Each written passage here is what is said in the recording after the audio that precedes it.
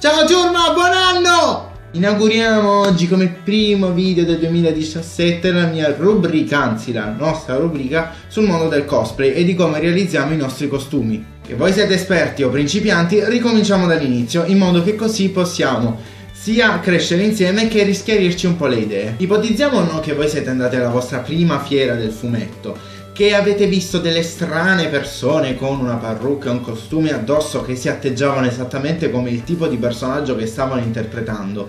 E i vostri amici o le persone che stavano lì vi dicevano che erano cosplayer. La fiera va, fate i vostri acquisti, vi divertite tramite gli eventi che ci sono, gli eventi, il, gli spettacoli che ci sono e poi in seguito tornate a casa e nel tragitto viene anche a voi l'idea di realizzare il vostro primo cosplay perché tanto questo mondo vi ha attirato. E adesso da dove iniziare?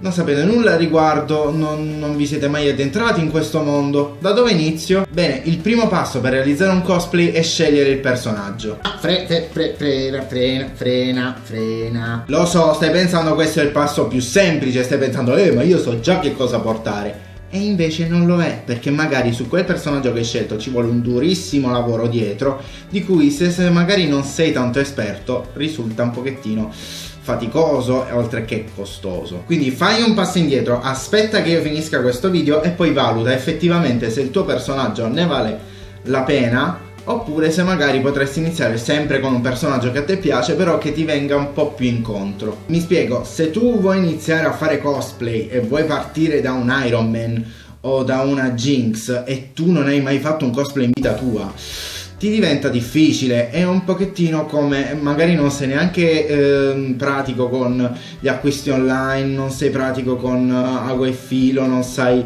uh, molto sul materiale, è un pochettino come disegnare, come dire io voglio fare un manga e non ho neanche l'idea di come si faccia un triangolo, quindi io andrei piano piano e valuterei la cosa. Quindi, come avrete capito, il numero uno per scegliere il personaggio è sta, avete appena cominciato, andate con un cosplay semplice. Un cosplay che magari sia più alla vostra portata, senza troppi dettagli, senza troppe cure, che sia insomma eh, molto fattibile, che magari non dovete spenderci capitali. Questo perché? Perché se state adesso iniziando il mondo del cosplay, il mondo del cosplay prevede anche molto Uh, molti soldi spesi, molta fatica, molte serate spese a uh, progettare il cosplay, a finire di realizzarlo.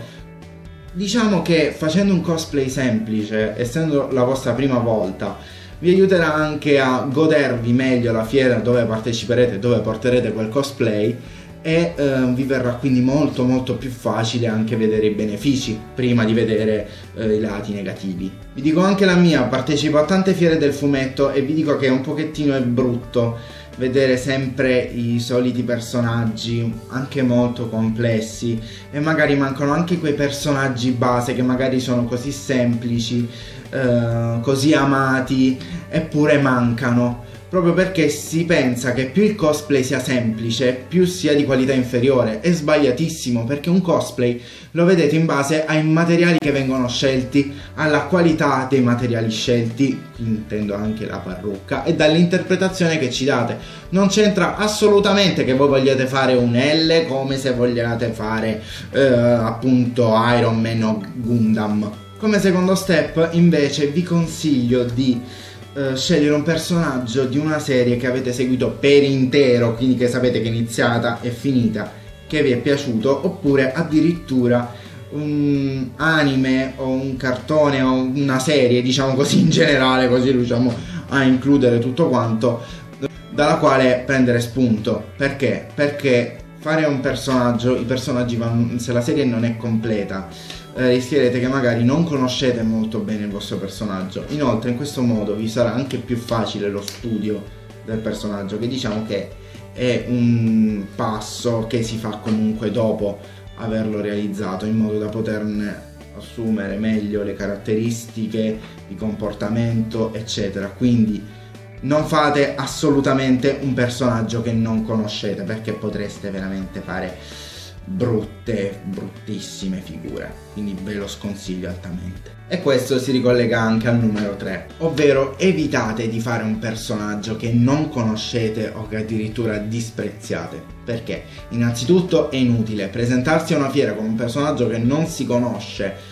Eh, significa semplicemente perdere tempo nel realizzarlo, perdere soldi se lo volete magari comprare eh, e quindi non, essenzialmente non serve a voi e non serve neanche agli altri perché anche se gli altri ti riconoscono, ti vengono addosso e poi tu non sai neanche come comportarti, non sai come metterti in posa, eccetera, verrà un po' difficile, ti verrà molto difficile e tu non apprezzerai affatto tutto quello che, eh, che appunto hai fatto e gli altri nemmeno perché gli altri capiranno semplicemente che tu ti sei messo quel costume per farti vedere che ok che diciamo cioè, il mondo del cosplay è un po' un farsi vedere ma non è farsi vedere e divertirsi, mettersi nei panni di quel personaggio che per noi può essere un eroe. Senza considerare anche il fatto che se facciamo un personaggio che non ci piace oppure che non conosciamo, l'interpretazione naturalmente calerebbe, in quanto non siamo appunto capaci di comportarci esattamente come si comporta quel personaggio. Passo numero 4. Ok, il numero 4 diciamo che in tutto è il più vago, perché al giorno d'oggi questi sistemi comunque sono un pochettino diversi, però vi possono tornare molto utili. Se vi è possibile, scegliete un personaggio che anche fisicamente vi somigli. Vi spiego il perché di questo. Perché innanzitutto se ci somigliate di più l'effetto verrà migliore. Quindi molte persone apprezzeranno tanto, tanto, tanto di più il vostro cosplay. Mi ricordo che quando andai a Fumettopoli vidi uno che aveva fatto il cosplay di Jack Sparrow. Questo è un cosplayer famoso, ma io non mi ricordo il nome. Principalmente anche perché io con i nomi faccio schifo, già lo comincio a dire. Ragazzi, se lo vedevate identico, capito che cosa significa identico? Ma a parte il realizzo del costume che eh, era fatto veramente bene, ma questo qua anche di faccia, non, non era proprio solo il trucco, cioè era anche la sua base che era molto simile a lui. Quindi ora non dico che dovete per forza fare quel personaggio, no, io ve lo sto dicendo come consiglio, se magari conoscete un personaggio che vi può interessare, cui ci assomigliate, se ne avete l'opportunità fatelo perché per voi potreste, potreste, potrebbe essere una grossa, grossa, grossa rivelazione. E sarete anche molto più notati. Seconda parte diciamo che invece riguarda i connotati. Cioè se dobbiamo radicalmente eh, cambiare faccia, diciamo così, eh, e magari ci sono delle complicazioni, dobbiamo sempre andare a a metterci un costo che eh, supera anche il costume. Mi spiego. Mettiamo il caso che tu abbia i capelli neri e gli occhi scuri e ti venga in mente di realizzare eh, Naruto. Dovrai comprare una parrucca bionda, il che va bene, cioè alla fine per qualsiasi personaggio si compra una parrucca e ha i capelli o, o a meno che non si vedano ma dovrai anche comprare delle lenti a contatto. È vero che dici su online si trovano queste lenti a contatto annuali. Però almeno da come le compro io le lenti a contatto più di un mese non mi durano e hanno anche un certo costo.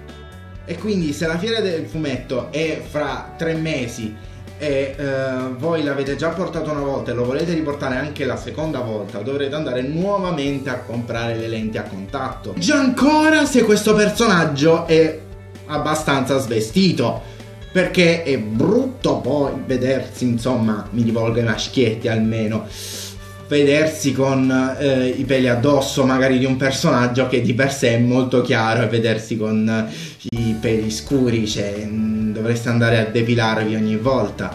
E oltre al dolore e al, all'irritazione che viene alla pelle dopo, sì, perché vi viene un'irritazione che, che ci vuole veramente tanto tanto tanto tanto tempo e cura prima che vi passi, sarà anche molto costoso. Quindi valuta, oddio, molto, relativamente costoso, però comunque è una spesa ogni volta che dovrete portare quel personaggio. Quindi per voi vi consiglio di portare un personaggio che bene o male, non per tutto, in tutto e per tutto, però almeno in piccola parte vi somigli. Step numero 5. Se magari quel personaggio ha dei problemi, che so, è troppo dettagliato, eh, è troppo svestito, ha un'armatura terrificante, non abbiate per forza la cosa di dire no, io quel personaggio non lo posso fare perché è troppo complesso per me o non va bene per me. Invece considerate le versioni, che esattamente come avviene per noi comuni esseri mortali, anche i personaggi di qualsiasi serie possono avere dei, delle varie versioni, dei cambiamenti proprio in fatto di uh, abbigliamento, in fatto di poteri, non lo so, cioè diciamo di abbigliamento, ma noi ci interessiamo principalmente dell'abbigliamento. E quindi magari se quel costume non va benissimo per voi, potete vedere un pochettino se di quel costume c'è un'altra versione. Per esempio, um, c'era una mia amica che vuole interpretare, fare il cosplay di C18. C18 non è semplicemente quella là con eh, il gilet blu, le, cami- eh, ma- le, le maniche, eh, zeb- non zebrate, come si dice, a righe, o la, il top nero e la, eh, la gonna blu, eccetera, eccetera.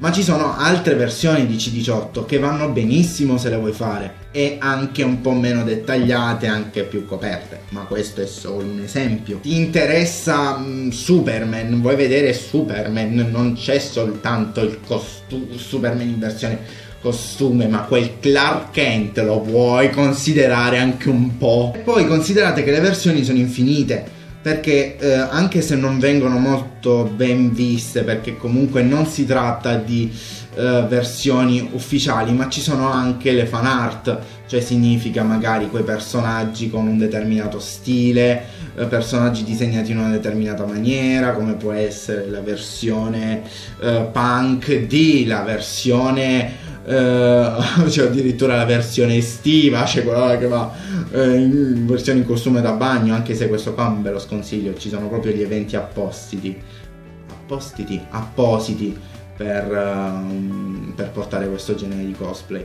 Oppure ci sono anche le versioni gender band o le versioni crossplay, che sono praticamente i primi... Um, portare un personaggio del sesso opposto e far diventare nostro oppure travestirsi proprio da quel personaggio fottendosene del fatto che voi siete maschio o femmina.